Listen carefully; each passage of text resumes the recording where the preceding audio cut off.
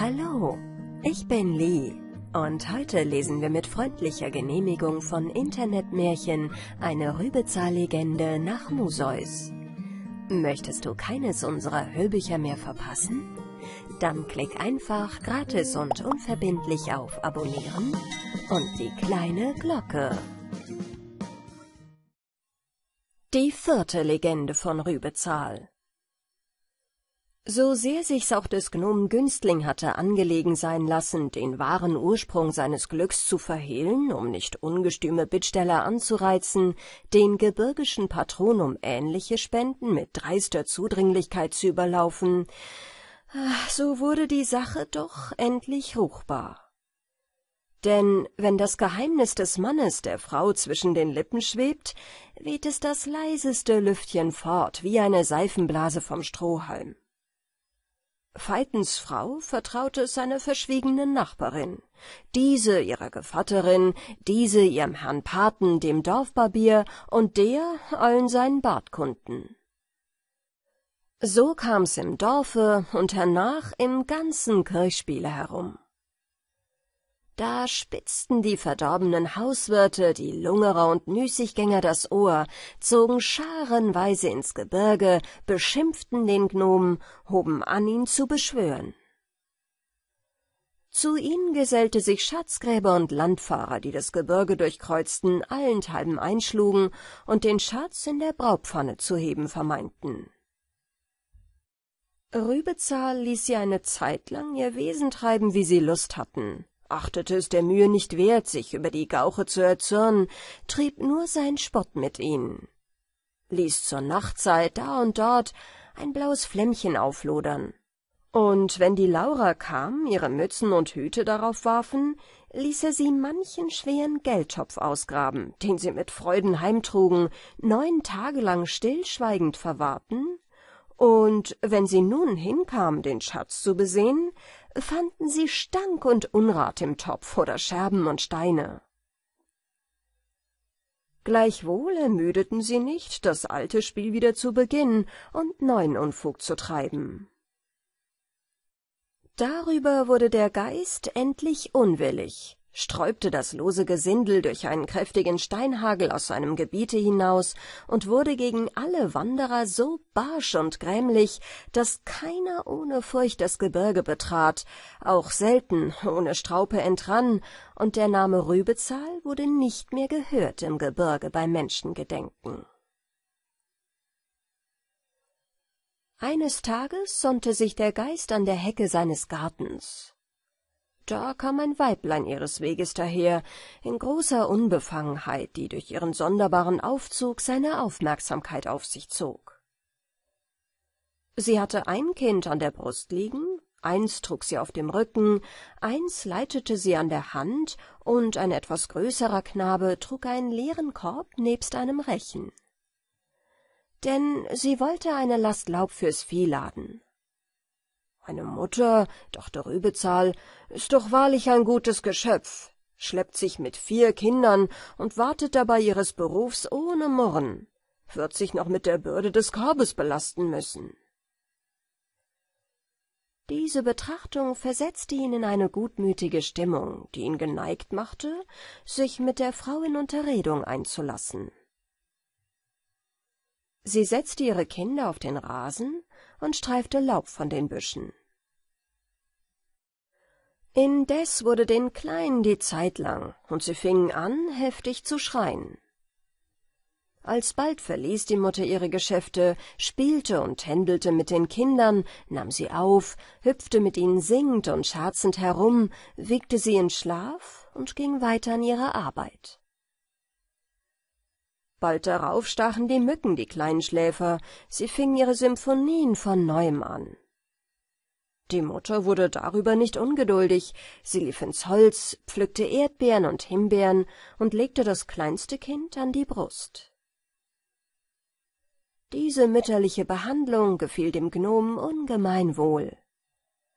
Allein der Schreier, der vorher auf der Mutter Rücken ritt, wollte sich durch nichts befriedigen lassen. War ein störrischer, eigensinniger Junge, der die Erdbeeren, die ihm die liebreiche Mutter darreichte, von sich warf und dazu schrie, als wenn er aufgespießt wäre. Darüber riß ihr doch endlich die Geduld aus. Rübezahl, rief sie, komm und friss mir den Schreier. Augenblicks versichtbarte sich der Geist in der Köhlergestalt, trat zum Weibe und sprach Hier bin ich, was ist dein Begehr? Die Frau geriet über diese Erscheinung in großen Schrecken. Da sie aber ein frisches, herzhaftes Weib war, sammelte sich bald und fasste Mut. »Ach, ich rief dich nur«, sprach sie, »meine Kinder schweigen zu machen. Nun sie ruhig sind, bedarf ich deiner nicht, sei bedankt für deinen guten Willen.« »Weißt du auch«, entgegnete der Geist, »dass man mich hier nicht ungestraft ruft? Ich halte dich beim Wort, gib mir deinen Schreier, dass ich ihn fresse.« so ein leckerer Bissen ist mir lange nicht vorgekommen. Darauf streckte er die rußige Hand aus, den Knaben in Empfang zu nehmen. Wie eine Gluckhenne, wenn der Weih hoch über dem Dach in den Luften schwebt oder der schäkerhafte Spitz auf dem Hofe hetzt, mit ängstlichem Glucken vorerst ihre Küchlein in den sicheren Hühnerkorb lockt, dann ihr Gefieder emporsträubt, die Flügel ausbreitet und mit dem stärkeren Feinde einen ungleichen Kampf beginnt? So fiel das Weib dem schwarzen Köhler wütig in den Bart, ballte die kräftige Faust und rief Ungetüm! Das Mutterherz musst du mir erst aus dem Leibe reißen, ehe du mir mein Kind raubtest. Eines so mutvollen Angriffs hatte sich Rübezahl nicht versehen. Er wich gleichsam schüchtern zurück. Dergleichen handfeste Erfahrungen in der Menschenkunde waren ihm noch nie vorgekommen. Er lächelte das Weib freundlich an. Entrüste dich nicht, ich bin kein Menschenfresser, wie du wähntest, will dir und deinen Kindern auch kein Leides tun. Aber lass mir den Knaben, der Schreier gefällt mir, will ihn halten wie ein Junker, will ihn in Samt und Seide kleiden und einen wackeren Kerl aus ihm ziehen, der Vater und Brüder einst nähern soll. Fordere hundert Schreckenberger, ich zahl sie dir. Ha, lächelte rasch das Weib. Gefällt euch der Junge? Ja, das ist ein Junge, der wäre mir nicht um aller Welt Schätze feil. Törin, versetzte Rübezahl, hast du nicht noch drei Kinder, die dir Last und Überdruss machen?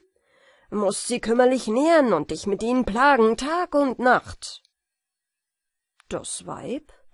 Wohl wahr, aber dafür bin ich Mutter, muss tun, was meines Berufes ist, Kinder machen Überlast, aber auch manche Freude. Der Geist? Ach, schöne Freude, sich mit den Belgern tagtäglich zu schleppen, sie zu gängeln, zu säubern, ihre Unart und Geschrei zu ertragen. Sie? Wahrlich, Herr, ihr kennt die Mutterfreuden wenig. Alle Arbeit und Mühe versüßt ein einziger freundlicher Anblick, das holde Lächeln und Lallen der kleinen unschuldigen Würmer. Seht mir nur den Goldjung da, wie er an mir hängt, der kleine Schmeichler. Nun ist es nicht gewesen, der geschrien hat. Ach, hätte ich doch hundert Hände, die euch heben und tragen und für euch arbeiten könnten, ihr lieben Kleinen. Der Geist? So, hat denn dein Mann keine Hände, die arbeiten können? Sie? Oh ja, die hat er. Er rührt sie auch, und ich fühl's zuweilen. Der Geist aufgebracht. Wie? Dein Mann erkühnt sich, die Hand gegen dich aufzuheben? Gegen solch ein Weib? Das Genick will ich ihm brechen, dem Mörder. Sie lachend. Da hättet ihr viel Hälse zu brechen, wenn alle Männer mit dem Hals büßen sollten, die sich an der Frau vergreifen. Die Männer sind ein schlimmes Volk. Drum heißt's Ehestand, Wehstand. Muß mich drein ergeben. Warum hab ich gefreit? Der Geist? Nun ja, wenn du wusstest, dass die Männer ein schlimmes Volk sind, so war's auch ein dummer Streich, dass du streitest. Sie? Tja, mag wohl, Aber Steffen war ein flinker Kerl, der guten Erwerb hatte, und ich eine arme Dirne ohne Heiratsgut. Da kam er zu mir, begehrte mich zur Ehe, gab mir einen Wildemannstaler auf den Kauf, und der Handel war gemacht. Nachher hat er mir den Taler wieder abgenommen, aber den wilden Mann hab ich noch. Der Geist lächelte. Vielleicht hast du ihn wild gemacht durch deinen Starrsinn. Ah, den hat er mir ausgetrieben. Aber Steffen ist ein Knauser. Wenn ich ihm meinen Engelgroschen abfordere, so rast er im Haus ärger als ihr zu Zeiten im Gebirge, wirft mir meine Armut vor, und da muss ich schweigen. Wenn ich ihm eine Aussteuer gebracht hätte, wollte ich ihm schon den Daumen aufs Auge halten. Was treibt dein Mann für ein Gewerbe? Er ist ein Glashändler, muss sich seinen Erwerb auch lassen sauer werden. Schleppt der arme Tropf die schwere Ware aus Böhmen herüber, Jahr aus, Jahr ein. Wenn ihm nur unterwegs ein Glas zerbricht, muss ich's und die armen Kinder freilich entgelten. Aber Liebesschläge tun nicht weh. Der Geist? Du kannst den Mann noch lieben, der dir so übel mitspielt? Warum nicht lieben? Ist er nicht der Vater meiner Kinder? Die werden alles gut machen und uns wohl belohnen, wenn sie groß sind. Ha, leidiger Trost. Die Kinder danken auch den Eltern Mühe und Sorgen. Werden dir die Jungen den letzten Heller aus dem Schweißtuch pressen, wenn sie der Kaiser zum Heere schickt ins ferne Ungarland, dass die Türken sie erschlagen? Ei, das kümmert mich auch nicht. Werden sie erschlagen, so sterben sie für den Kaiser und fürs Vaterland in ihrem Beruf können aber auch Beute machen und die alten Eltern pflegen. Hierauf erneuerte der Geist den Knabenhandel nochmals. Doch das Weib würdigte ihm keine Antwort, raffte das Laub in den Korb, band obendrauf den kleinen Schreier mit der Leibschnur fest, und Rübezahl wandte sich, als wollte er weitergehen. Weil aber die Bürde zu schwer war, dass das Weib nicht aufkommen konnte, rief sie ihn zurück. Ich hab euch einmal gerufen, sprach sie. Helft mir nun auch auf, und wenn ihr ein Übriges tun wollt, so schenkt dem Knaben, der euch gefallen hat, ein Karfreitagsgoschel zu einem paar Semmeln. Morgen kommt der Vater heim, der wird uns Weißbrot aus Böhmen mitbringen. Der Geist antwortete, Aufhelfen will ich dir wohl, aber gibst du mir den Knaben nicht, so soll er auch keine Spende haben. Hm, auch gut, versetzte das Weib und ging ihres Weges. Je weiter sie ging, je schwerer wurde der Korb, dass sie unter der Last schier lag und alle zehn Schritt verschnauben musste. Das schien ihr nicht mit rechten Dingen zuzugehen. Sie wähnte, Rübezahl habe ihr eine Posse gespielt und eine Last Steine unter das Laub gesteckt. Darum setzte sie den Korb ab auf dem nächsten Rande und stürzte ihn um. Doch es fielen eitel Laubblätter heraus und keine Steine. Also füllte sie ihn wieder zur Hälfte und raffte noch so viel Laub ins Vortuch, wie sie darin fassen konnte. Aber bald ward ihr die Last von neuem zu schwer, und sie musste nochmals ausleeren, was die rüstige Frau sehr verwunderte. Denn Sie hatte gar oft hochgepanzerte Graslasten heimgetragen, und solche Mattigkeiten hatte sie noch nie gefühlt.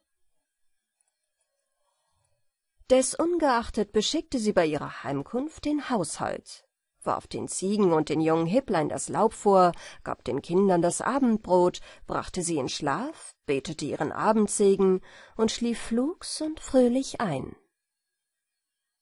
Die frühe Morgenröte und der schwache Säugling, der mit lauter Stimme sein Frühstück heischte, weckten das geschäftige Weib zu ihrem Tagewerk aus dem gesunden Schlaf. Sie ging zuerst mit der Melkfasse ihrer Gewohnheit nach nach dem Ziegenstall. Welch schreckensvoller Anblick! Das gute, nahrhafte Haustier, die alte Ziege, lag da hart und steif, hatte alle Viere von sich gestreckt und war verschieden.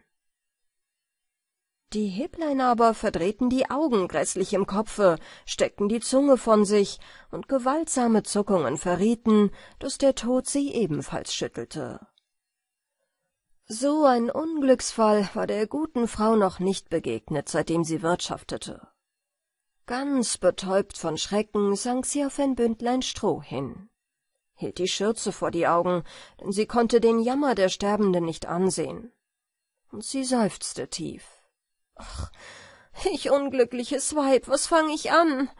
Oh, und was wird mein harter Mann beginnen, wenn er nach Hause kommt? Ach, hin ist mein ganzer Gottessegen auf dieser Welt. Augenblicklich strafte sie das Herz dieses Gedankens wegen. Wenn das liebe Vieh dein ganzer Gottessegen ist auf dieser Welt, was ist denn Steffen und was sind deine Kinder? Sie schämte sich ihrer Übereilung. Lass fahren dahin, aller Welt Reichtum, dachte sie, du hast doch noch deinen Mann und deine vier Kinder. Ist doch die Milchquelle für den lieben Säugling noch nicht versiegt, und für die übrigen Kinder ist Wasser im Brunnen. Wenn's auch ein Strauß mit Steffen absetzt und er mich übel schlägt, was ist's mehr als ein böses Ehestündlein? Habe ich doch nichts verwahrlost, die Ernte steht bevor, da kann ich schneiden gehen, und auf den Winter will ich spinnen bis in die tiefe Mitternacht. Eine Ziege wird ja wohl wieder zu erwerben sein, und hab ich die, so wird's auch nicht an Hipplein fehlen. Indem sie das bei sich gedachte, ward sie wieder frohen Mutes, trocknete ihre Tränen ab, und wie sie die Augen aufhob, lag da vor ihren Füßen ein Blättlein, das flitterte und blinkte so hell, so hochgelb wie gediegen Gold. Sie hob es auf, besaß, und es war schwer wie Gold. Rasch sprang sie auf, lief damit zu ihrer Nachbarin, zeigte den Fund mit großer Freude, und diese erkannte es für reines Gold, scherte es ihr ab und zahlte ihr dafür zwei Dicktaler bar auf den Tisch. Vergessen war nun all ihr Herzeleid. Solchen Schatz an Barschaft hatte das arme Weib noch nie im Besitz gehabt. Sie lief zum Bäcker, kaufte Strötzel und Butterkringel und eine Hammelkeule für Steffen, die sie zurichten wollte, wenn er müde und hungrig auf den Abend von der Reise käme. Wie zappelten die Kleinen der fröhlichen Mutter entgegen, da sie hereintrat und ihnen ein so ungewohntes Frühstück austeilte. Sie überließ sich ganz der mütterlichen Freude, die hungrige Kinderschar zu füttern. Und nun war ihre erste Sorge, das ihrer Meinung nach von einer bösen getöteten Vieh beiseite zu schaffen und dieses häusliche Unglück vor dem Manne so lang wie möglich zu verheimlichen. Aber ihr Erstaunen ging über alles, als sie von ungefähr in den Futtertrog sah und einen ganzen Haufen goldener Blätter darin erblickte. Sie ahnte, woran das Vieh gestorben war Darum schärfte sie geschwind das Küchenmesser, brach den Ziegenleichnam auf und fand im Magenschlunde einen Klumpen Gold, so groß wie ein Paulinerapfel, und so auch im Verhältnis in den Mägen der Zicklein. Jetzt wusste sie ihres Reichtums kein Ende. Doch mit dem Besitz empfand sie auch seine drückenden Sorgen. Sie wurde unruhig, scheu fühlte Herzklopfen, wusste nicht, ob sie den Schatz in die Lade verschließen oder in den Keller vergraben sollte, fürchtete Diebe und Schatzgräber, wollte auch den Knauser Steffen nicht gleich alles wissen lassen, aus gerechter Besorgnis, dass er vom Wuchergeist angetrieben den Mammon an sich nehmen und sie dennoch nebst den Kindern darben lassen möchte. Sie sann lange, wie sie's klug damit anstellen möchte, und fand doch keinen Rat. Der Pfaffe im Dorfe war der Schutzpatron aller bedrängten Weiber, legte den ungestümen Haustyrannen, wenn Klage einlief, schwere Bußen auf und nahm stets der Weiber Partei.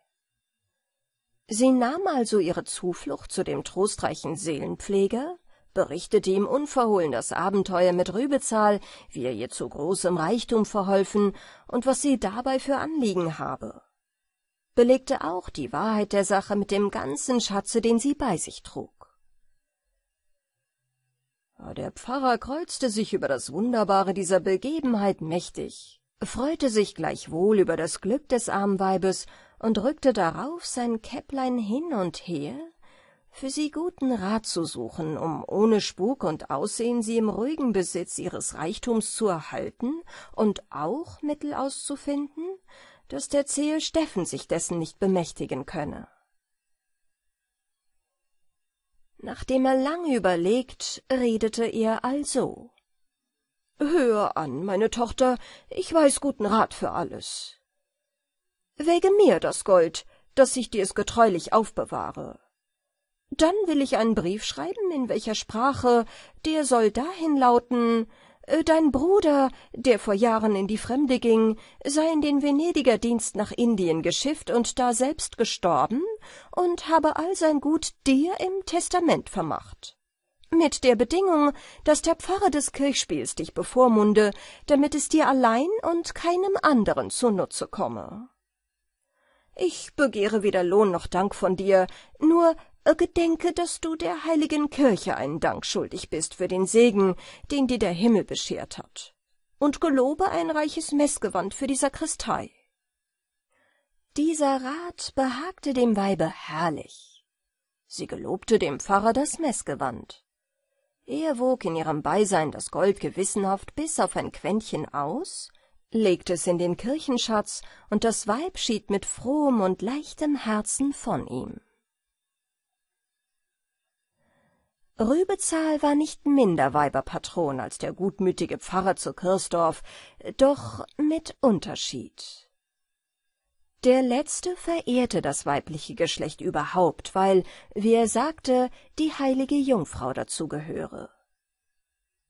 Jener im Gegenteil hasste das ganze Geschlecht um eines Mädchen willen, das ihn überlistet hatte, obgleich ihn seine Launen zuweilen auf den milden Ton stimmten, ein einzelnes Weiblein in Schutz zu nehmen und ihr gefällig zu sein.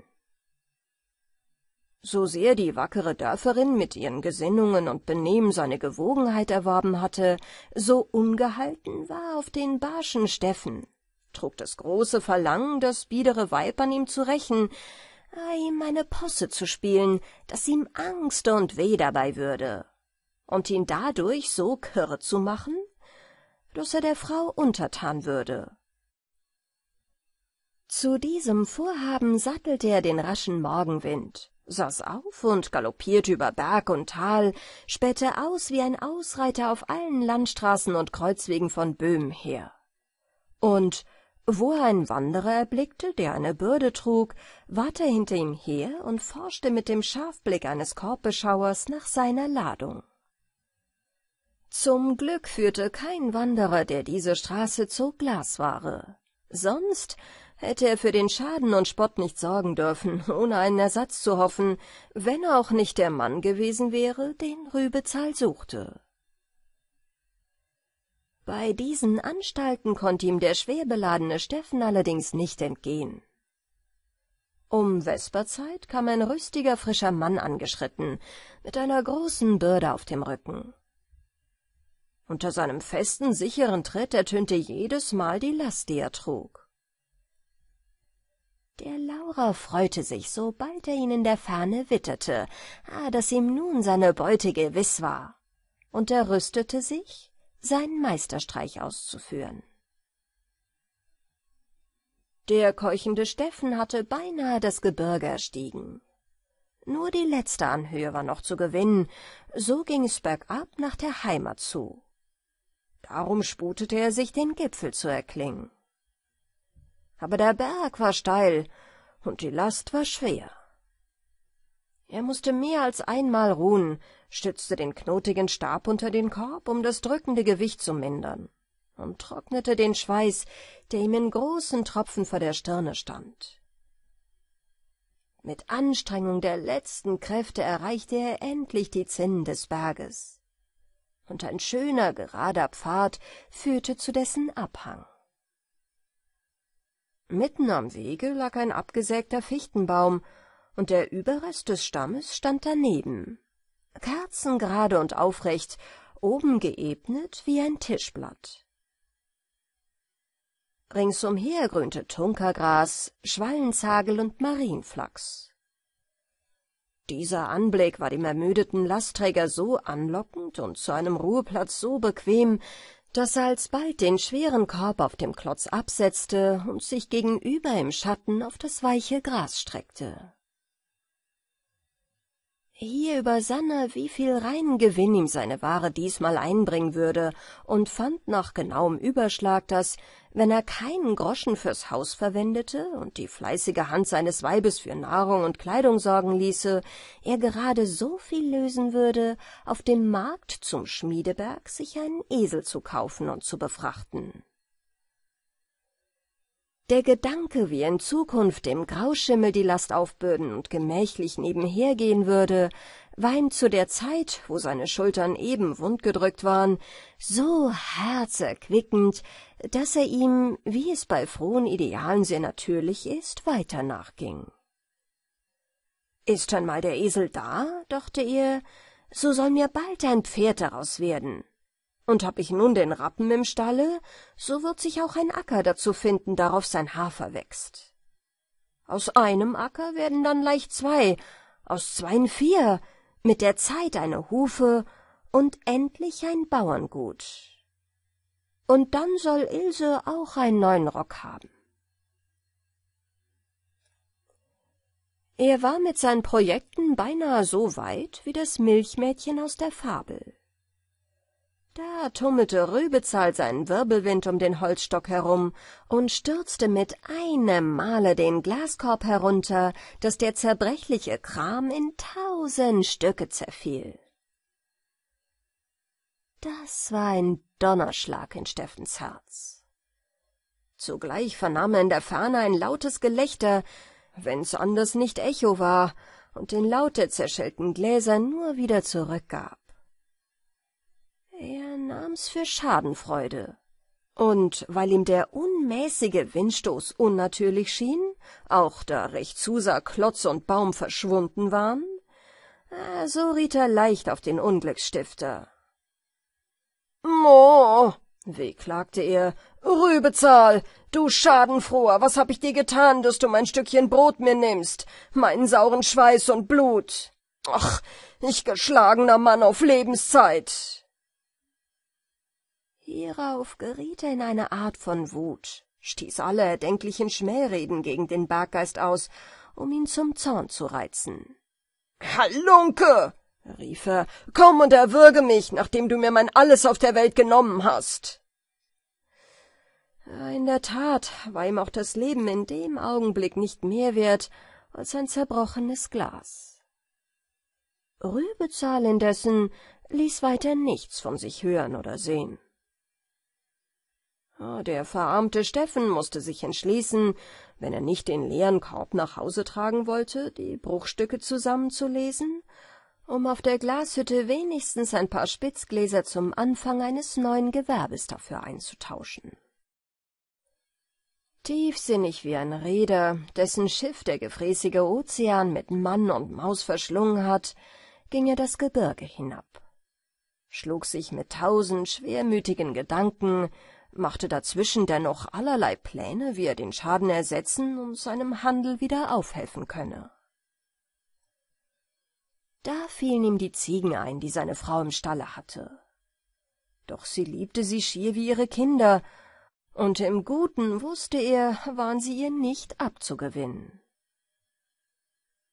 Darum erdachte er diesen Kniff, sein Verlust gar nicht daheim zu erzählen, auch nicht bei Tage in seine Wohnung zurückzukehren, sondern um Mitternacht sich ins Haus zu stehlen, die Ziegen nach Schmiedeberg auf den Markt zu treiben und das daraus gelöste Geld zum Ankauf neuer Ware zu verwenden, bei seiner Rückkehr aber mit dem Weibe zu hadern und sich bärbeißig zu stellen, als habe sie durch Unachtsamkeit das Vieh in seiner Abwesenheit stehlen lassen.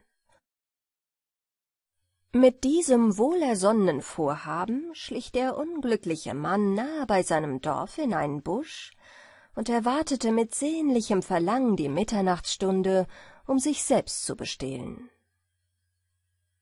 Mit dem Schlag zwölf machte er sich auf den Diebesweg, kletterte über die niedrige Hoftür, öffnete sie von innen und schlich mit Herzpochen zum Ziegenstalle. Er hatte doch Scheu und Furcht vor seinem Weibe, auf einer unrechten Tat sich ertappen zu lassen.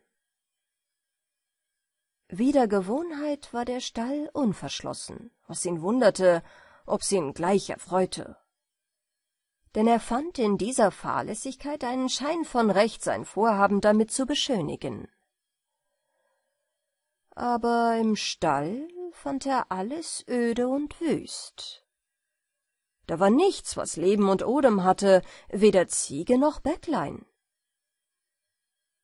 Im ersten Schrecken meinte er, es habe ihm bereits ein Dieb vorgegriffen, dem das Stehlen geläufiger sei als ihm. Denn Unglück kommt selten allein. Bestürzt sank er auf die Streu und überließ sich, da ihm der letzte Versuch, seinen Handel wieder in Gang zu bringen, misslungen war, einer dumpfen Traurigkeit.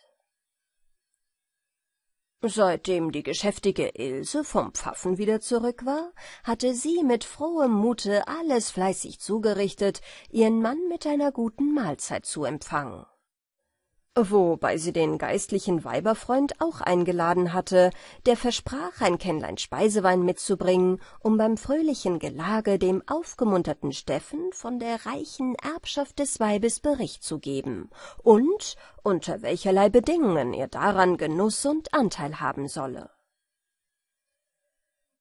Sie sah gegen Abendzeit fleißig zum Fenster hinaus, ob Steffen käme, lief aus Ungeduld hinaus vors Dorf, blickte mit ihren schwarzen Augen auf die Landstraße hin, war bekümmert, warum er so lange weile, und da die Nacht hereinbrach, folgten ihr bange Sorgen und Ahnungen in die Bettkammer, ohne dass sie ans Abendbrot dachte.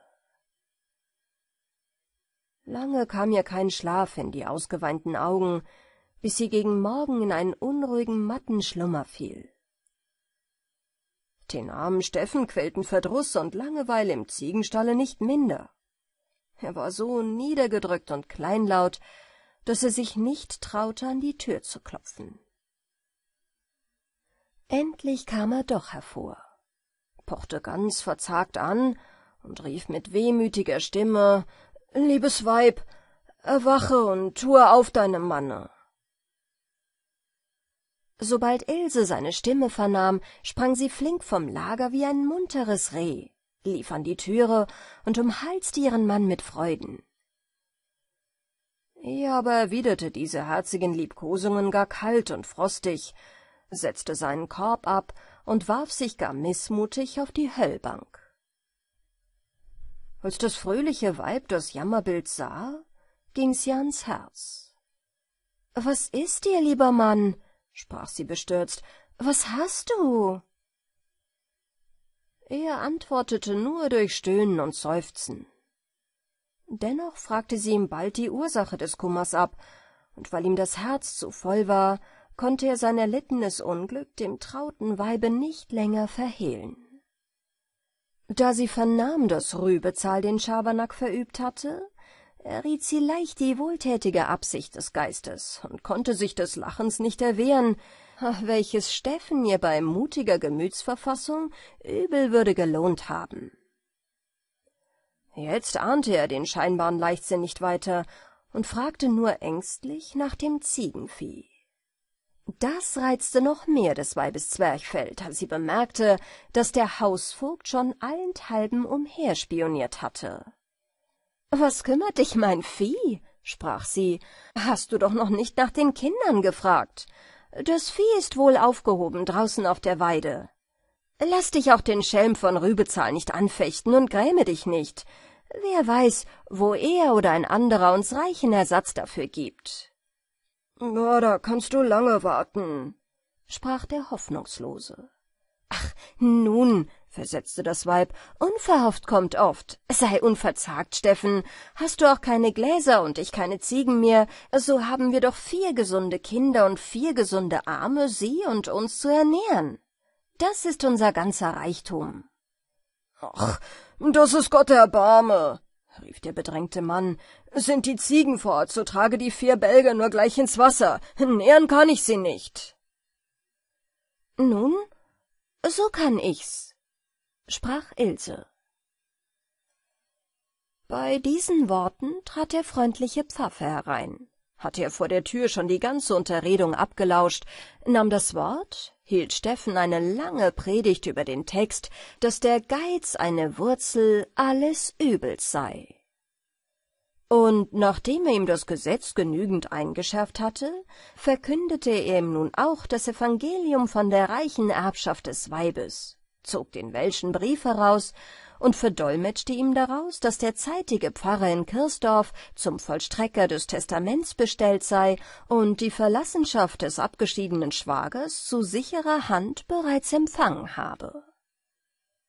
Steffen stand da wie ein stummer Ölgötze, konnte nichts als sich dann und wann verneigen, wenn bei Erwähnung der durchlauchten Republik Venedig der Pfaffe ehrerbietig ans Käpplein griff.